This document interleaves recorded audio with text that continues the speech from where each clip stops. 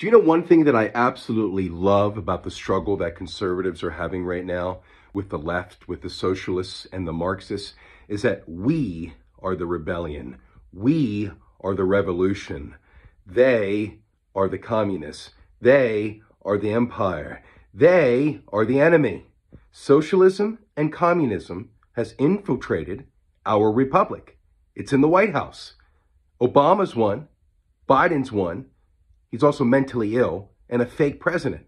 So I absolutely love the fact that I'm a conservative. I love the fact that I'm a Christian conservative, and I love the fact that I'm a freedom fighter. And I love the fact that no one will tread on me and my rights. And I love the fact that I'm anti-communist. I love the fact that I love freedom. I love the fact that I'm anti-socialist. I love the fact that I'm for the Second Amendment. I love the fact that I'm for freedom. The revolution has begun. It's forming now. Stand up and fight.